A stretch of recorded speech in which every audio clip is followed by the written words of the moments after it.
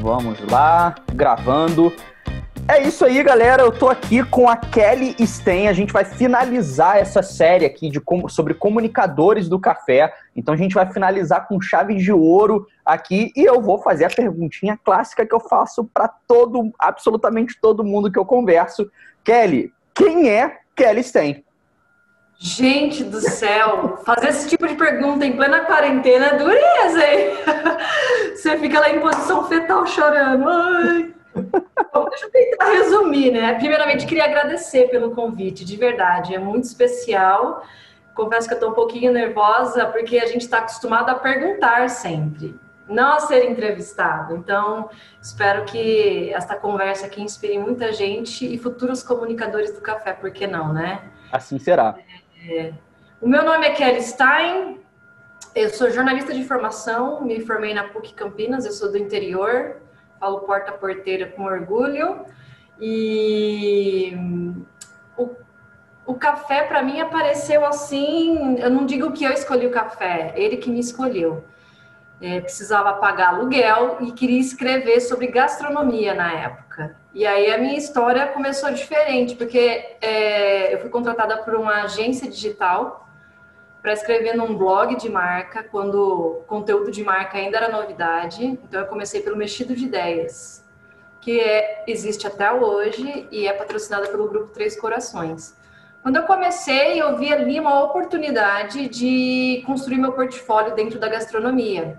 Porque eu saí do interior, eu sou de Paulínia, fui criada em Paulínia, tenho muito carinho pela cidade, e cheguei em São Paulo querendo escrever no Estadão, querendo ser nesses grandes veículos. Cheguei lá falando porta-porteira, sem saber o que era Avenida Rebouças, ninguém me deu esse trabalho.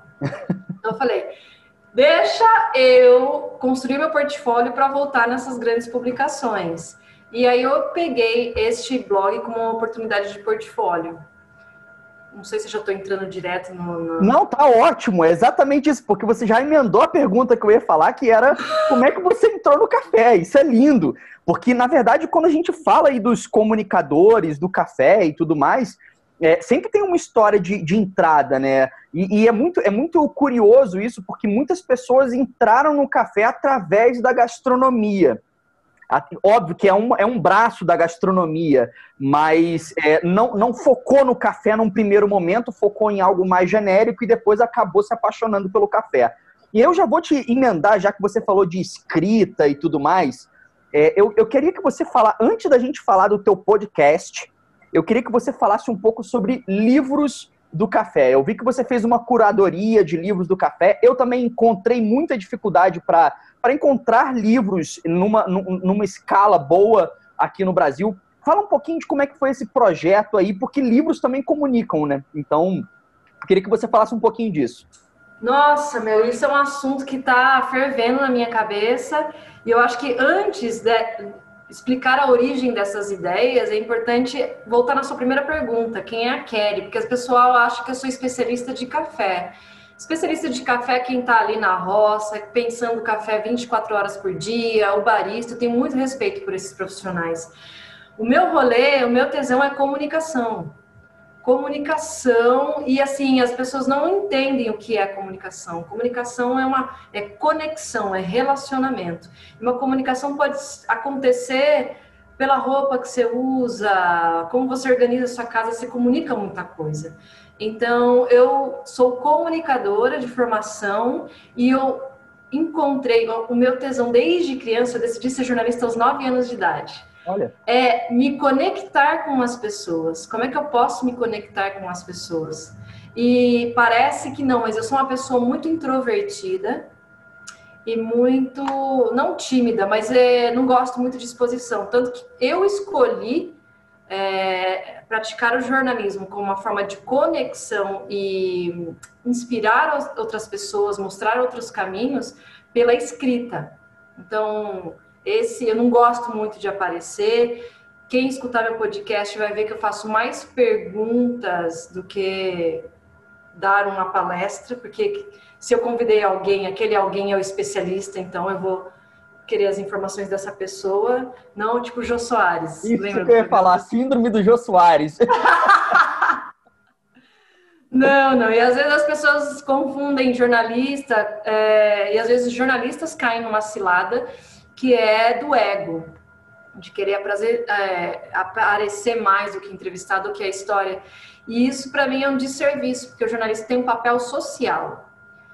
E aí, então, pensando nisso, eu, Kelly comunicadora, comecei a imaginar meios diferentes de me conectar com as pessoas via o café. Então, o café para mim virou uma ferramenta, é só uma desculpa para a gente fazer uma revolução. Revolução socioeconômica, cultural, de sabores, enfim. Tanto que é, as matérias que eu escrevo, quando eu escrevo, é, porque eu escrevo hoje para três revistas internacionais, de vez em quando para veículos nacionais, e tenho meu podcast. Os assuntos são sempre pedrada. Então, eu vou falar sobre sexismo em ambiente de cafeterias de café especial. Vamos falar sobre mulheres do café. Vamos falar sobre origens. Tem um lá que descreve o Cerrado Mineiro, muito bacana, mas do aspecto cultural, tecnológico de pessoas. Porque se o café é feito por pessoas, para pessoas, o que me interessa são as pessoas. E o café é só um meio, sabe? E aí foi assim que eu tive as, as ideias, que muita gente fala que é inovadora, mas na verdade estava lá essa ideia e quando você se conecta com a pessoa, você começa a enxergar.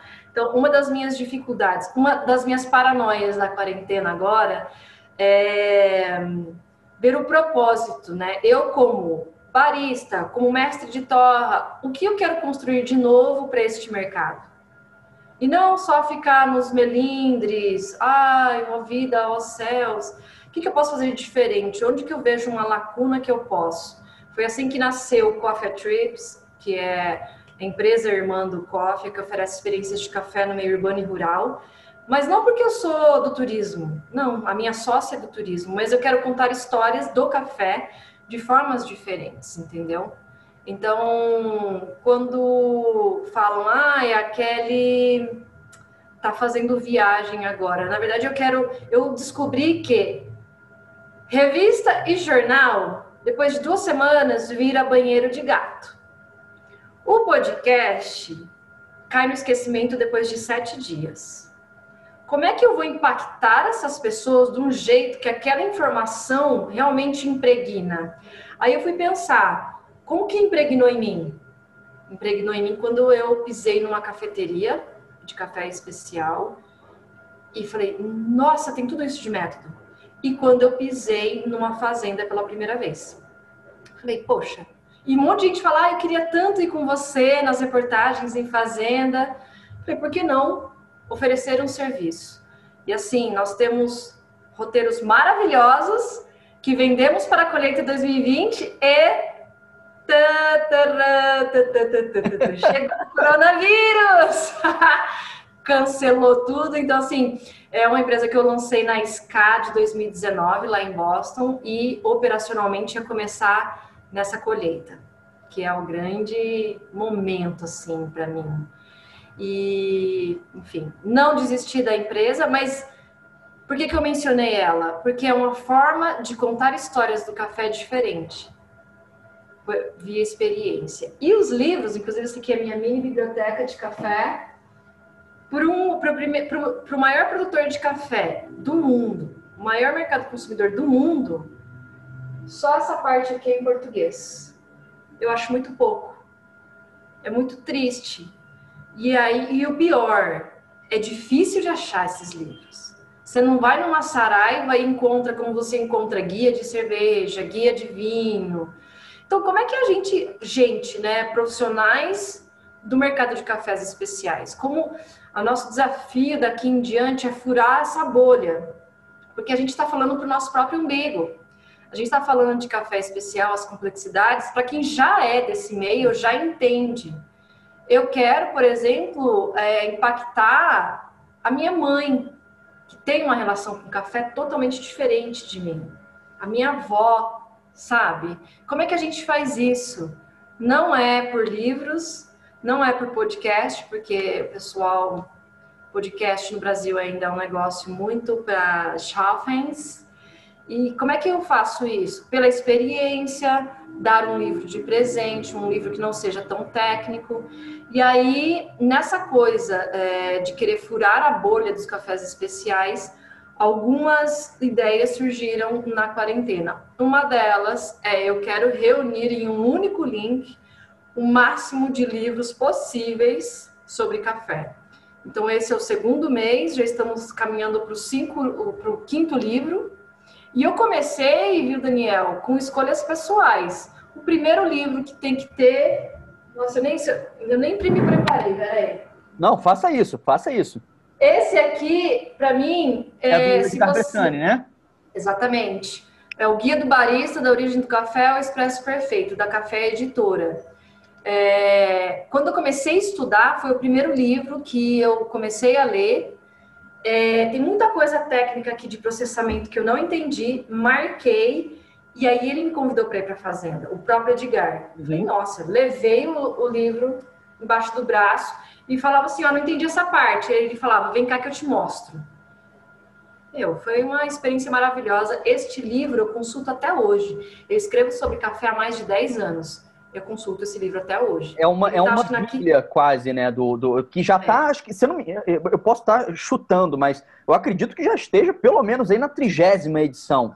Tá na quinta. Tá na quinta só? É, super jovem. Super jovem. Ele lançou a, o primeiro tem quanto tempo isso? Tem um Foi 2017. Nossa, é muito novo esse livro, então. Eu tava Você achando... entendeu como que a gente tá, ainda tá engatinhando? Sem dúvida. E aí, para mim são dois livros. Você que vai assistir é, essa entrevista, escutar essa entrevista, são dois livros se você tá começando. O Guia do Barista que vai explicar termos técnicos, tipo o que é café natural. Quem, é, quem está fora da bolha dos cafés especiais acha que é café orgânico, não entende que é processamento. Então, esse aqui é ótimo. E o outro, Poxa, Daniel, você nem me avisou, isso eu já teria separado. Não, mas é isso, é quem sabe, quem sabe faz ao vivo. Aqui. Ah! O outro é a história do café. Da Ana Lúcia Martins, editora contexto. É, é importante a gente entender este passado para começar a recriar e reinventar o nosso presente e nosso futuro. E, por exemplo, o, o, Brasil tem mais de 132 anos dedicado à ciência do café, inovação, tecnologia, melhoramento genético, equipamentos. E só tem um livro de história sobre o café e assim, é uma leitura super gostosa, super simples, parece que você está sentada com a, com a autora batendo um papo. Esse, então, esses foram os dois primeiros livros que entraram. E aí, para quem quiser comprar, é, eu, eu, fechei parceria com a loja Menu Café, então é menucafé.com.br barra curadoria coffee. Vou colocar o, o, link aqui na descrição, tanto do vídeo quanto na descrição do podcast aí, para quem quiser acessar já poder verificar lá na loja Menu Café todos os livros aí da curadoria. Bem legal. E não tem livro só lá, tem alguns itens que eu uso de vestimenta que o pessoal me encontra e fala, nossa, onde você comprou isso? Então lá tem meia com estampa de café, lenços de seda com estampa de café, tem a, a camiseta do coffee, essa aqui, que aí é, ajuda também a, a manter o podcast no ar. E o que mais que tem lá? Vai entrar agora em setembro umas canecas lindas. E aí, o outro livro, licença, peraí. Ai. Que é este maravilhoso, Tim Wendell. Uhum. Coffee com Tim Wendell. É um livro muito bacana para quem está começando também. Ele foi escrito, Tim, ele é uma das celebridades do café no mercado internacional ele é, fechou uma parceria com a Isabela Raposeiras, então tem aqui o loginho da Isabela, ela que fez a ponte, é, foi publicado tá pela Café já esse livro, então. Tá em português! Aí, e foi traduzido pela jornalista Cris Couto. Dá pra ver? Legal. Legal, legal. Tá à disposição lá também. Qual que é o outro? Ah, e tem um outro muito bacana da Eliana Helvas, que é esse daqui, Fala café e design. Exatamente. legal, esse, ref... eu não conheci, vou confessar que eu não conhecia. Eu acho que no vídeo fica ao contrário, né? Eu não, chamar café com design. Pelo menos para mim aqui ah. foi bem legal. A Arte de Beber Café. E, e tem sido um livro muito bacana, principalmente para quem está pensando em abrir cafeterias, mesmo que pequenas, ou para repensar os espaços dentro da sua cafeteria. É muito interessante. A Helena Helvas tem mais de 20 anos no mercado de café e a Miriam Gurgel é uma arquiteta. Então, elas cruzaram esses conhecimentos. E agora, ó, com exclusividade, o que vai entrar em setembro, o livro é um HQ sobre café. Olha! Chamado Coffee, que é de um, de um artista independente de Curitiba. Então, eu tenho essa pegada também, Daniel, de Você tá apoiar... Você está fazendo parceria com ele, não? O, a história, essa história em quadrinho? Não, já está publicado. Todos os livros, o que, que a gente faz? Eu entro em contato com as editoras, explico e falo, cara, me ajuda aí porque eu vou revender. Então, vê um desconto para mim, para eu conseguir revender claro, por um você ter preço acessível e claro. conseguir pagar minhas contas. Né? Claro, claro. Deixa, deixa eu até fazer um gancho aqui, já que a gente chegou nessa questão dos livros, que é, uma, é, um, é um ponto muito, muito importante, né? A bibliografia, você buscar coisas escritas, é uma das formas de, de comunicação. Eu, por exemplo, tenho esse livro aqui, ó. É o Barista Bible, que eu comprei que ele na Austrália. Ele é um livro local, ele é um livro local de uma autora chamada Christine Cottrell. Ela era lá de Brisbane. Você só encontra lá. E mesmo que você busque esse livro na Amazon, por exemplo, ele vai pegar o teu IP e ele não vai, não vai mostrar o livro, então não é um livro tão acessível. Mas ele é um livro escrito em inglês, ele é bem legal, bem completo. E aí eu queria fazer o gancho contigo nessa questão da língua inglesa. Como a gente ainda tem muito litera muita literatura de excelentíssima qualidade, mas que elas estão em inglês e ela ainda, elas ainda não existem traduzidas para o português, eu queria que você falasse um pouco da importância dessa segunda língua para o barista e para o profissional do café no Brasil. E aí depois quero que você faça o gancho com o teu podcast, que é um podcast bilíngue. É, exatamente. É... Acho que a gente já passou da época de falar que o inglês era diferencial. Na verdade, a terceira língua hoje é diferencial. E para quem trabalha com café, seja um barista, seja você que está começando e só lava a xícara, um inglês é essencial porque conecta, né? Então vira uma ferramenta de conexão via o café. E nos países produtores, a gente entra com esse papel de fornecer. Fornecer o café, a gente tem tecnologia, a gente tem lindo maravilhoso. Só que a gente não consegue, como um país que foi colonizado, a gente não tem essa, esse respiro financeiro que outros países têm. Então, por exemplo, Japão, que é super conhecido por cafés extremamente especiais, por fazer design de métodos de preparo e tal, eles nunca viram um consumidor comum. O Japão nunca viu um pé de café. Então, existe um hiato e existe sim um, um Grand Canyon entre essa coisa do dinheiro poder fazer ou não, entendeu? E falar inglês, você aumenta suas chances de troca, aumenta sua, é, falar inglês, né? Aumenta suas chances de conexão com outras possibilidades, outras realidades e conhecimento. Então eu digo que e aí outra coisa, se você é um barista, você quer investir em campeonato, cara, se você até pode na sua apresentação ter um tradutor, mas a riqueza de detalhes e de trocas que você vai perder neste bastidor com campeões do mundo inteiro, com realidades de café do mundo inteiro, você fica limitado. Então eu sugiro sim que vocês estudem inglês, porque é, não é um diferencial, para mim é, é uma sobrevivência.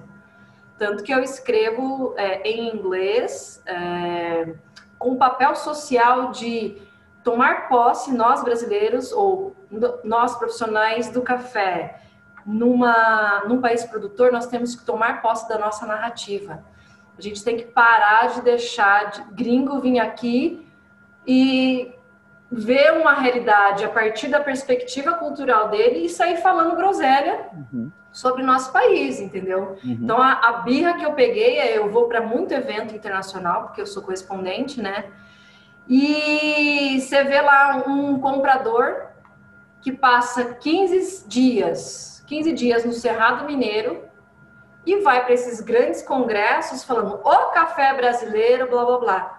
Desculpa, cara pálida, você passou 15 dias no Cerrado Mineiro. A realidade do Cerrado Mineiro é completamente diferente que o Caparaó, uhum. que Piatã. Uhum. Então, e aí a galera aplaudindo esse cara fazendo dinheiro, dando consultoria, um negócio que não convém à realidade. Então, eu, como jornalista, meio que peguei essa bandeira, vamos assim dizer, de falar: ah, peraí, eu sou profissional do café e da comunicação, moro no Brasil, não é bem assim. Então, comecei a escrever matérias para essas revistas.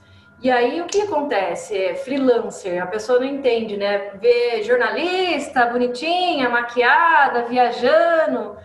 E assim, a gente é, precisa pagar boleto, não vivemos de fotossíntese. Para a gente conseguir ir para uma fazenda tem pedágio, tem carro, tem gasolina, e as pessoas não entendem isso, não entendem. Então, aí tem o jornalista freelancer, como eu, que é o Vida Louca, que nunca sabe se no fim do mês vai ter um salário que vai bancar os seus os, os, seus gastos fixos, e tem aquele jornalista que é contratado por um veículo, pode ser grande, Estadão, Veja, Folha de São Paulo, ou revistas de nicho, como a revista Expresso. No meu caso, eu nunca passei por grandes redações. Eu tive, sim, anjos enviados para me ajudar a amadurecer e crescer como profissional, mas eram editores dessas revistas que meio que me pegavam para a mão e tal, porque escrever em inglês tem um jeito diferente.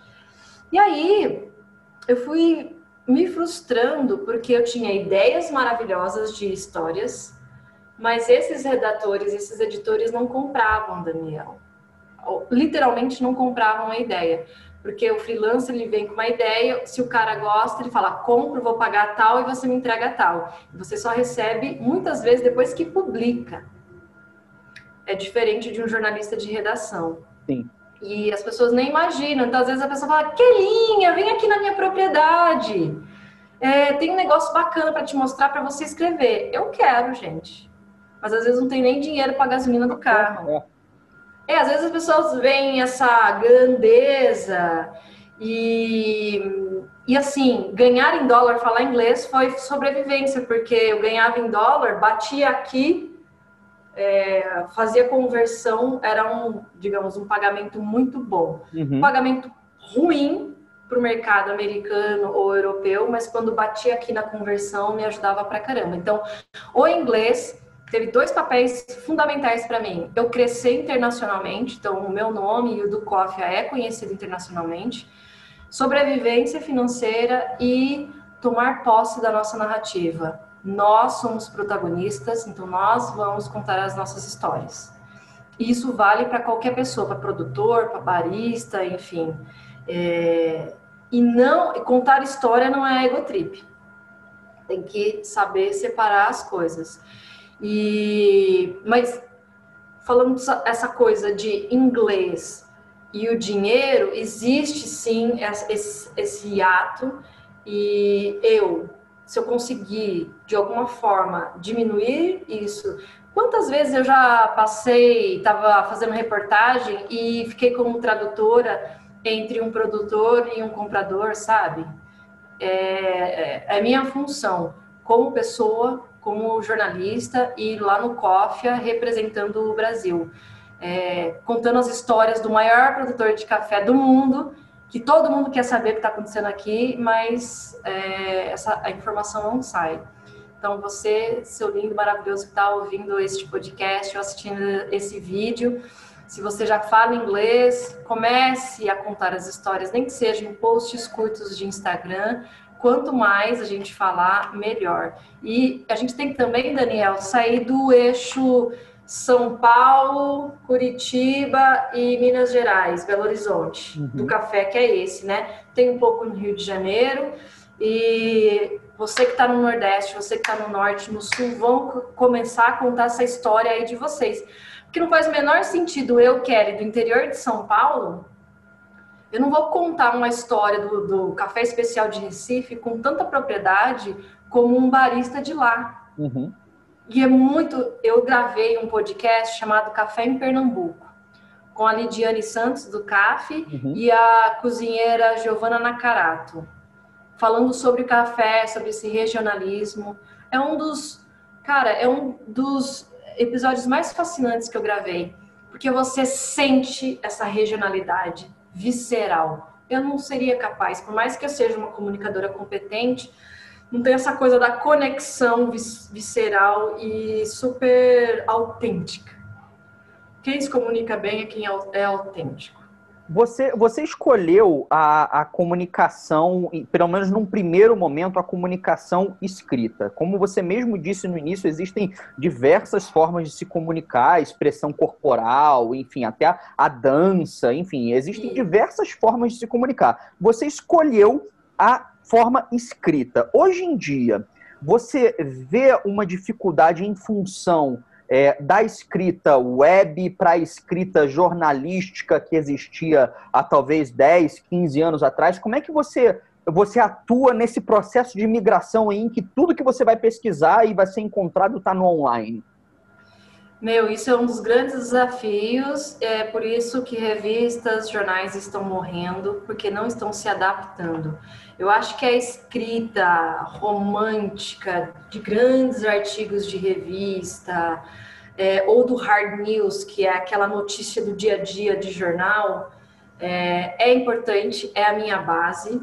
E é, eu, eu gosto de trabalhar com palavras escritas. Isso um grande tesão, escolher a vírgula, aquela palavra daquele jeito, porque aí fica uma coisa na entrelinha. Eu amo, tanto que eu escrevo desde criança, inclusive textos curtos de ficção, amo fazer isso.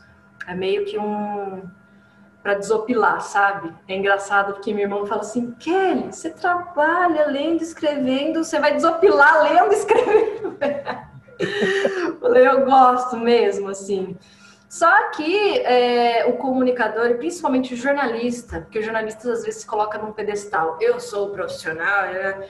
e ele fica preso no, no, próprio ego e não se atualiza e esquece qual que é a essência do jornalismo, que é conectar com outras pessoas, que é pedir licença para entrar na casa das outras pessoas, na intimidade, para contar uma história que emociona, para contar histórias de ideias de negócios, para mostrar que é, a realidade daquela pessoa não precisa ser aquela que se apresenta no aqui e no agora.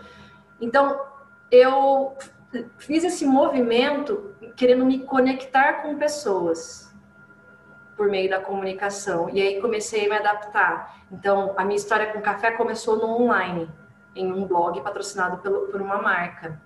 E lá eu não só aprendi muito sobre café, sou muito grata ao Grupo Três Corações, porque foi um começo muito mágico.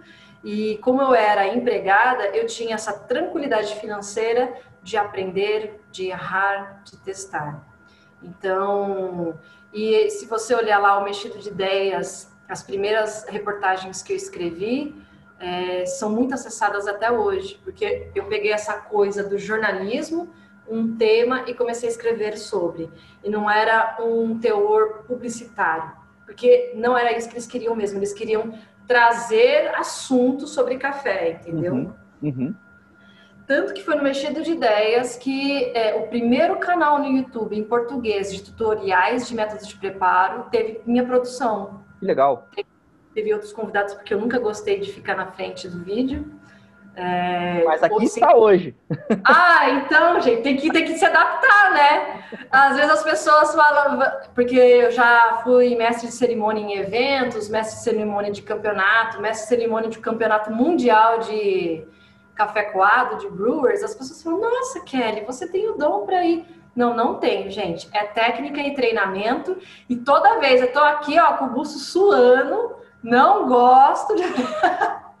Você já assistiu aquele filme Divertidamente? Não. Ai, é muito lindo. E aí ele mostra. Divertidamente, é lindo. E ele mostra a personalidade das emoções.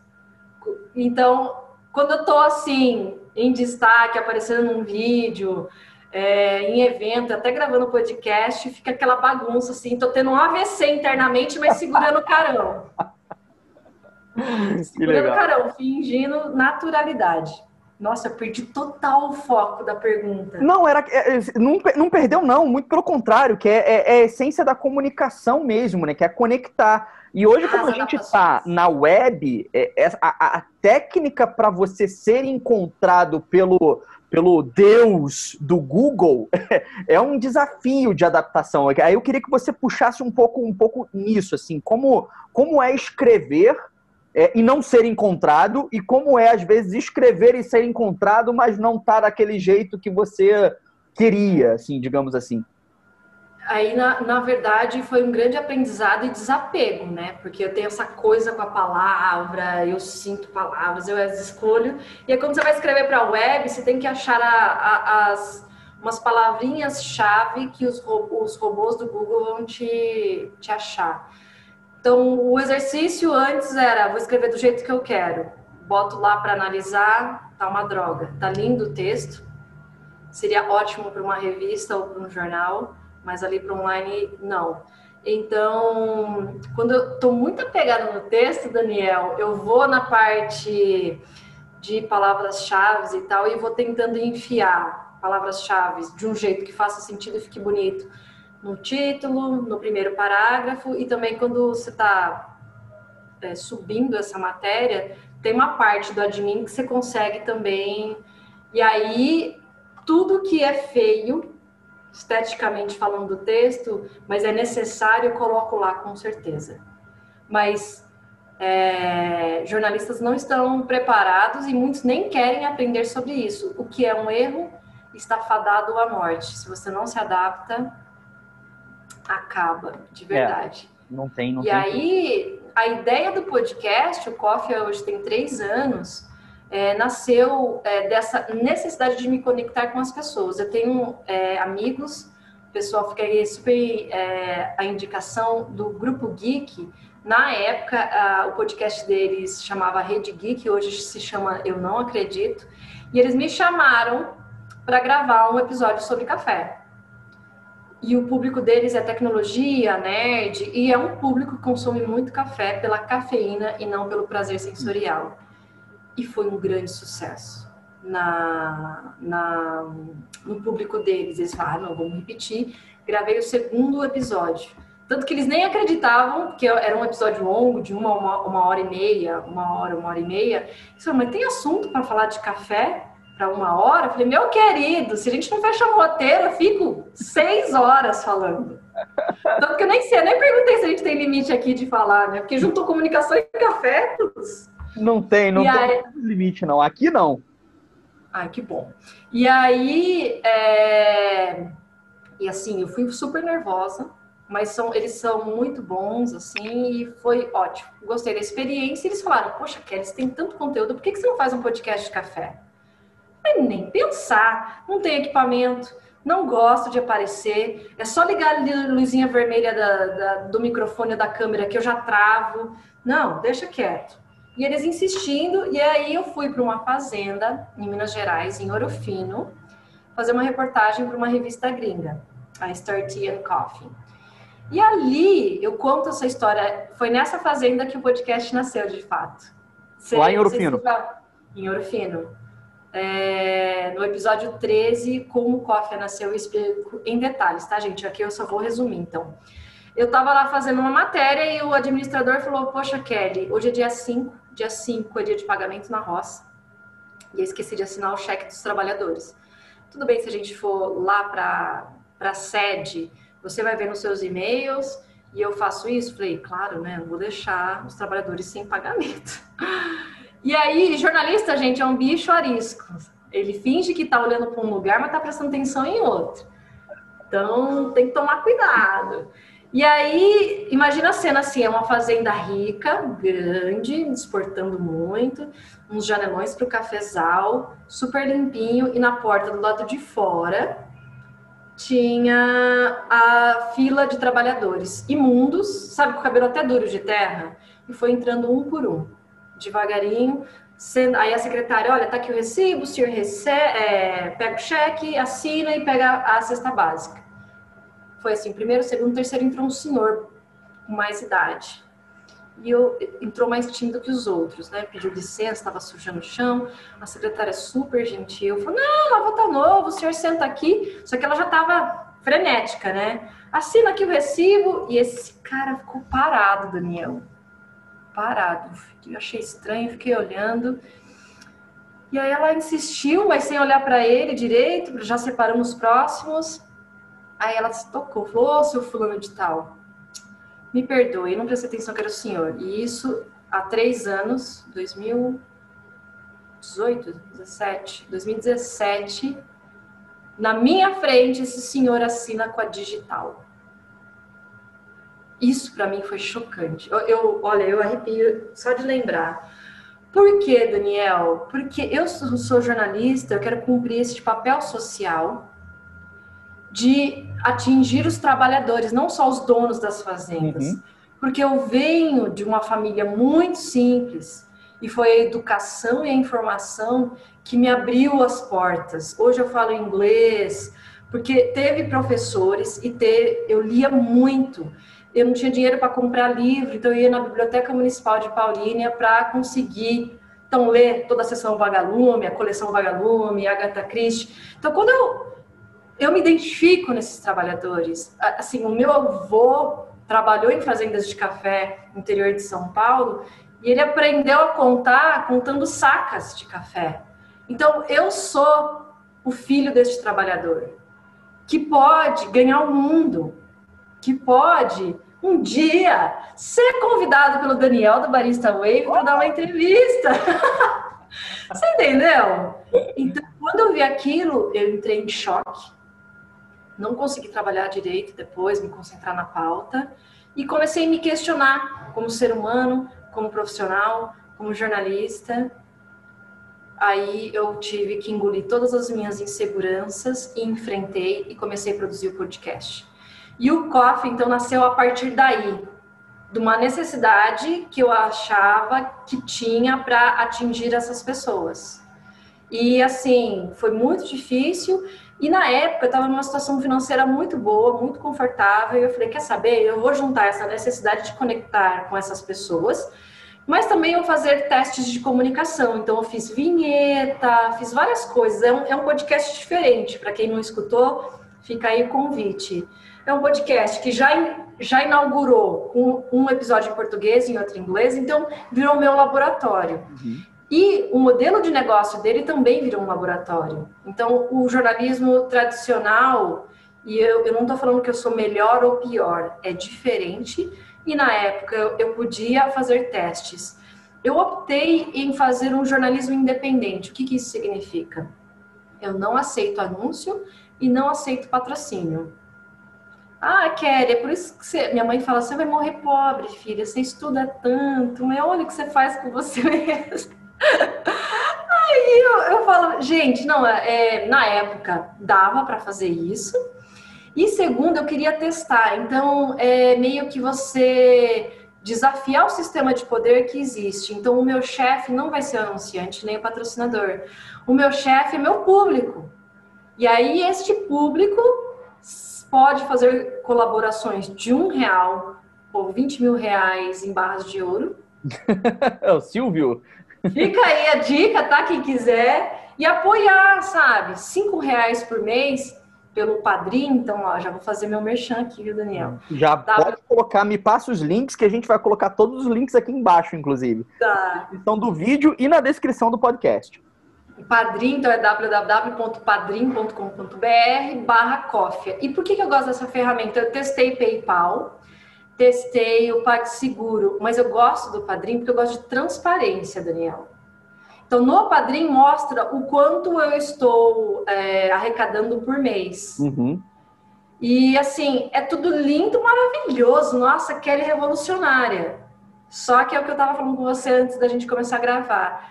Às vezes eu não produzo o, o número de podcast que eu gostaria, porque eu preciso fazer outros trabalhos para manter este projeto no ar.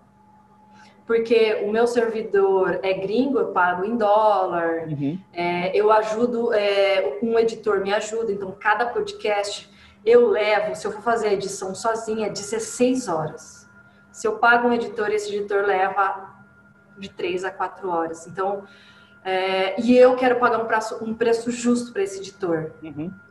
Então, às vezes a pessoa fala, ai, Kelly, não tem muita frequência de publicação e tal. Tem essa limitação financeira e tem também a, a coisa do.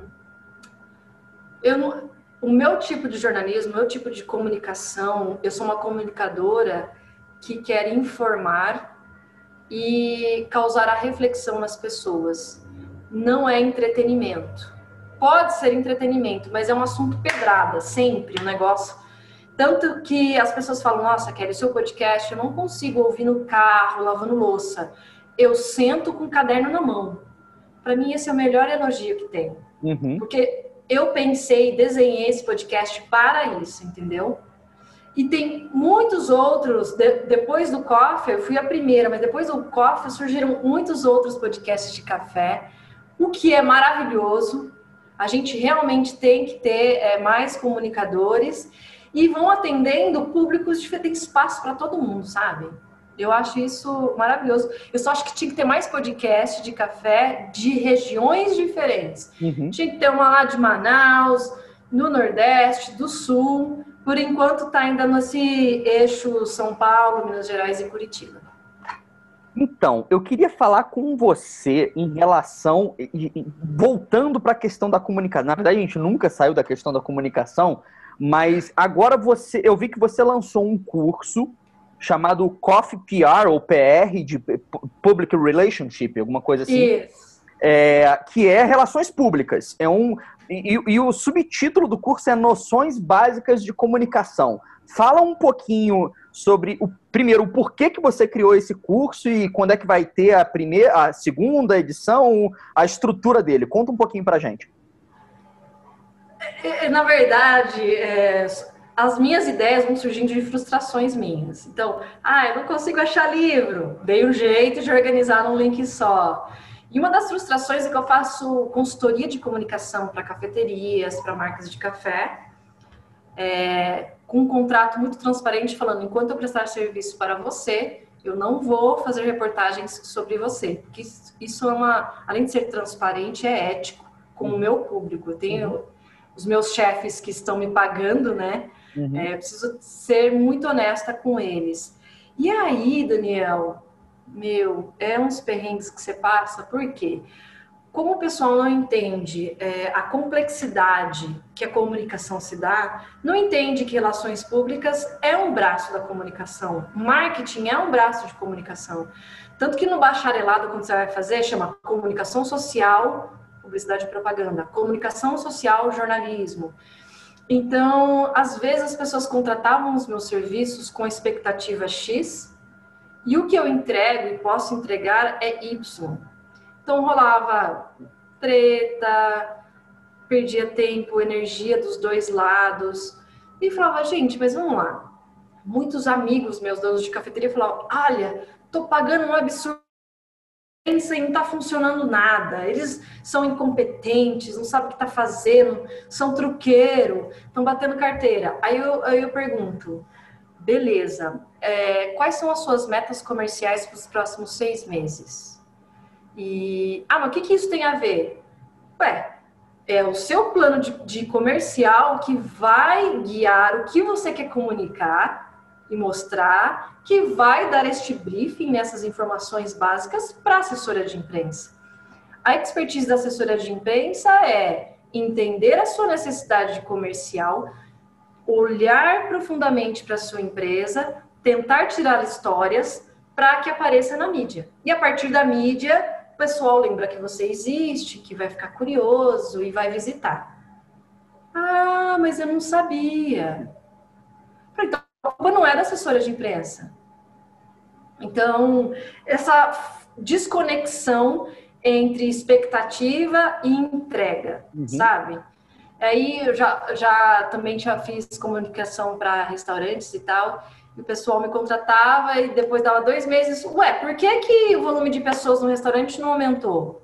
Eu falei, mas espera aí, você quer minha ajuda para construir e fortalecer sua marca, te levar sei lá, a, a, a, o nome do seu restaurante como referência no nicho, sei lá, comida orgânica ou comida gastronomia contemporânea? Ou você quer mais pessoas no seu restaurante? Ah, eu quero os dois. Eu falei, então, o que eu consigo entregar é fortalecimento de marca. Se você quer mais gente aqui, você tem que contratar um promoter.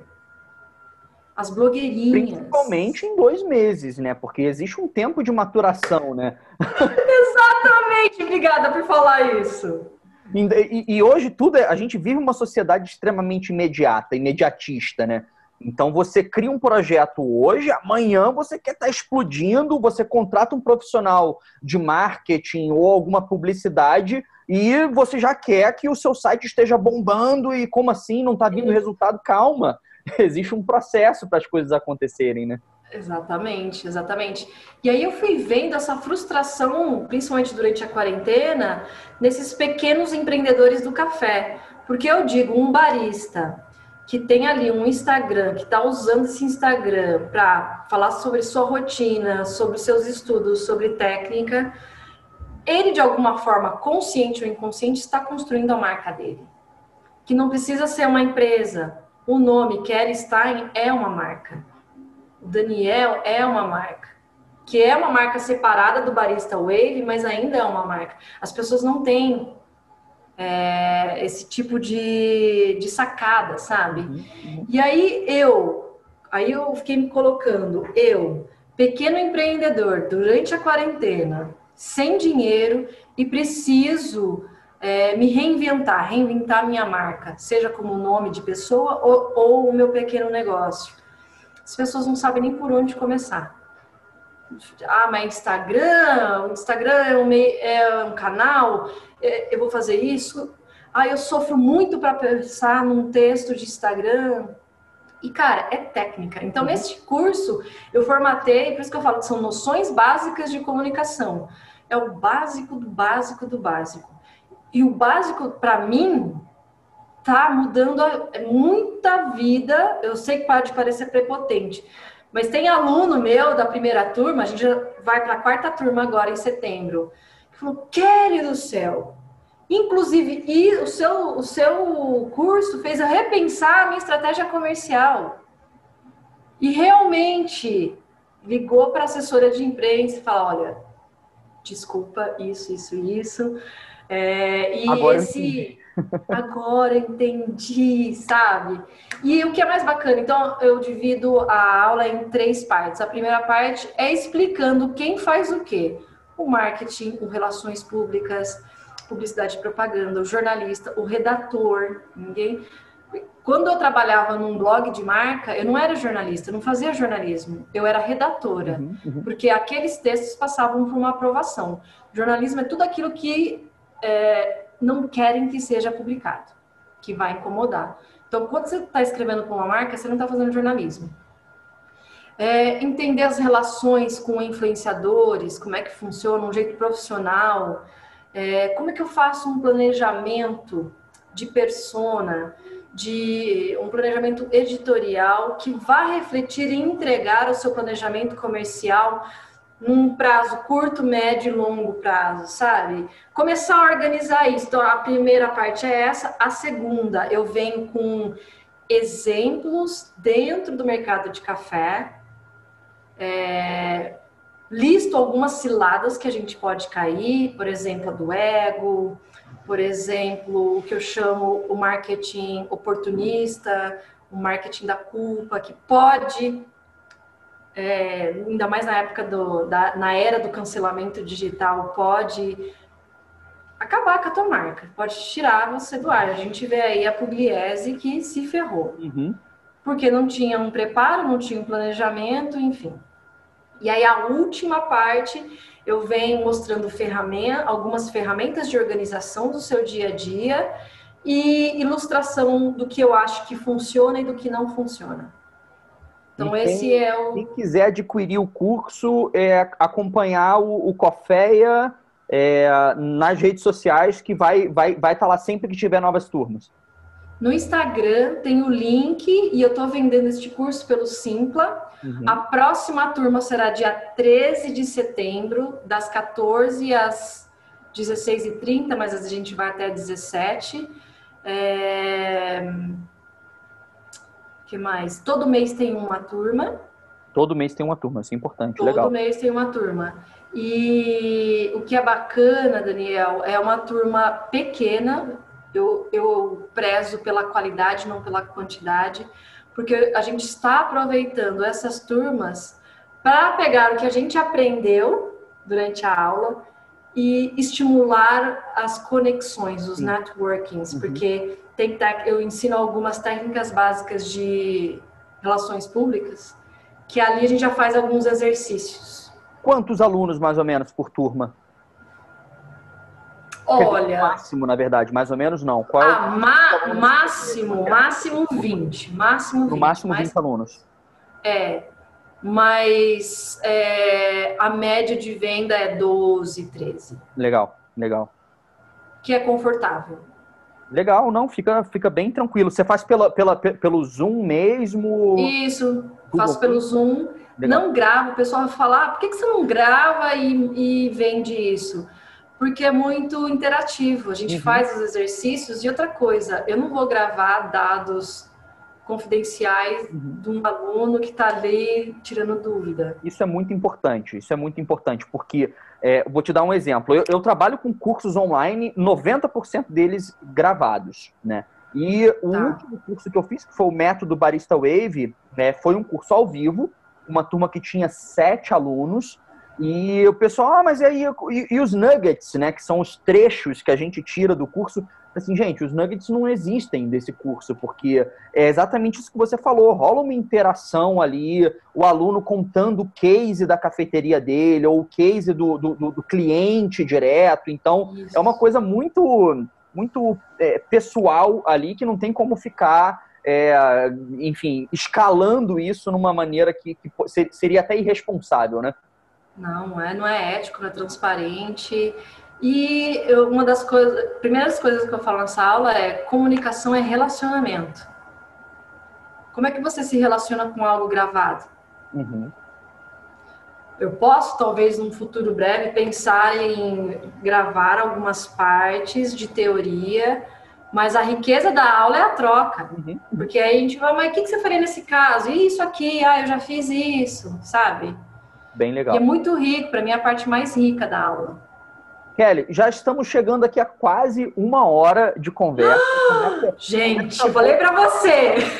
Que passa rápido. Kelly, antes de te, te, te, agradecer finalmente, quer dizer, antes de agradecer, já vou te agradecer aqui pela, pela participação dessa, dessa minissérie sobre comunicadores aqui. Eu acho que a gente fecha essa minissérie aqui com chave de ouro com a tua, com a tua participação. É muito importante que a gente feche aqui com uma uma comunicadora aí do, do primeiro escalão, digamos assim. Do, do... Nossa, que exagero, gente. Nem Não, tem roupa é. para esses elogios.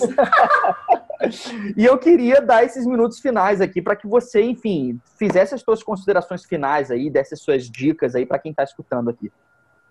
Ah, eu queria agradecer demais a oportunidade. É, são raras as chances que tenho para falar da minha história e nem estou muito acostumada, então eu agradeço. É, essa série que você pensou, eu acho que é de suma importância de reconhecimento do nosso trabalho, que é tão solitário. Às vezes a gente faz, assim, todas as partes, etapas da produção, às vezes, ainda mais durante a quarentena, a gente eu tenho a sensação de estar falando com as paredes, sabe?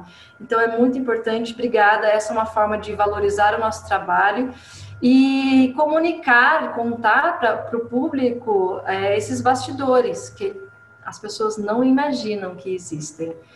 E para quem está nos ouvindo, muito obrigada por ficar até aqui ouvindo a gente, assistindo a gente. Vocês são maravilhosos. Conheçam lá o Cófia, vê lá no Padrim, tem a curadoria de produtos, o Daniel vai deixar todos os links. E muito obrigada.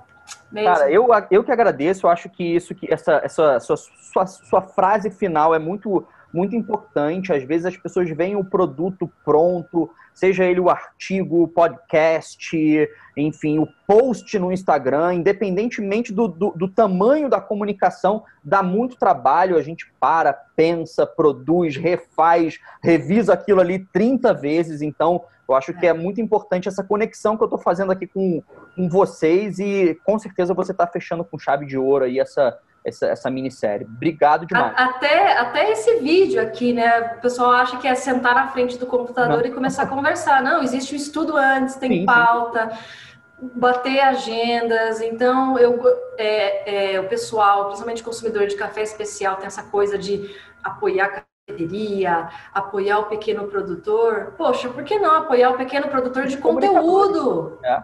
Vão apoiar os pequenos produtores de conteúdo, sabe? Ah, não tem dinheiro, 40 tá difícil, tudo bem, começa a fazer spam dos links de um episódio que você gosta, desse vídeo, enfim. Vamos apoiar os pequenos produtores de conteúdo! É isso aí, Kelly. Kelly, obrigado pela participação e até a próxima. Até! Valeu!